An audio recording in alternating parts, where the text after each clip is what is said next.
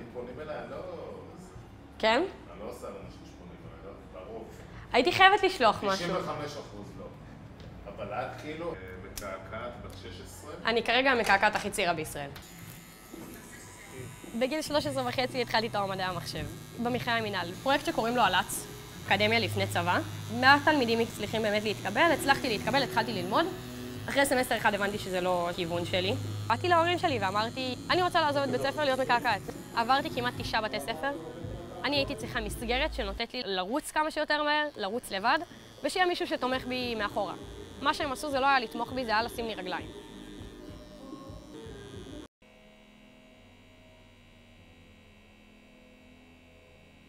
בראשון לציון, בשתי רחובות, יש חמישה מכוני קעקועים.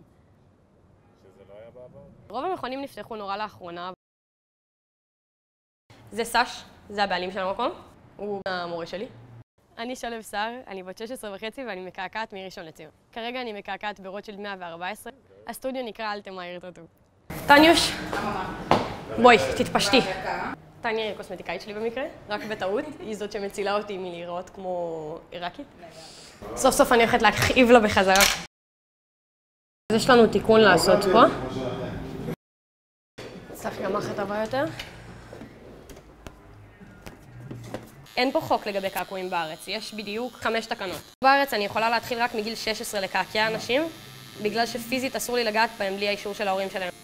אני את הקעקוע הראשון שלי עשיתי בגיל 15.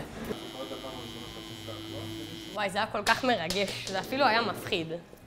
בגיל 16 ושבועיים קעקעתי פעם ראשונה בן אדם. הרגשתי מדהים, הייתה לי אקסטזה מטורפת, רציתי רק לקעקע. כל יום להרגיש את הרטט של המכונה.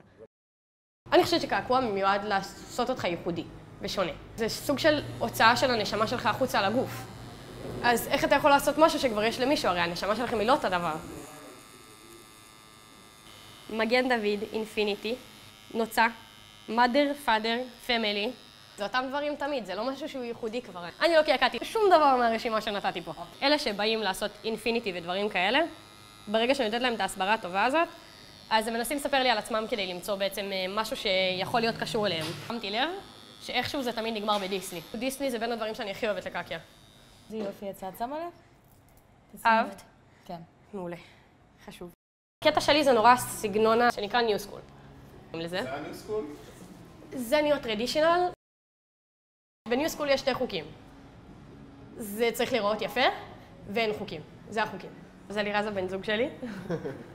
זה new school, זה סקיצה מקורית שלי, שזה בעצם כל הקטע פה, זה האנשה. הכל צריך להיות נורא מוגזם, שבירת פרופורציות טוטאלית.